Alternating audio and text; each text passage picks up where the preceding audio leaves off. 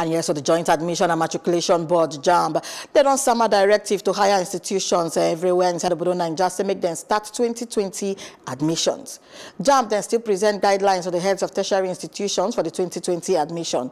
The board for inside the guidelines where they signed and released by their registrar, Professor Is-haq Oloyede, explained to say the guidelines for 2020 admission exercise say it they expected to guide all the participants for the admission process.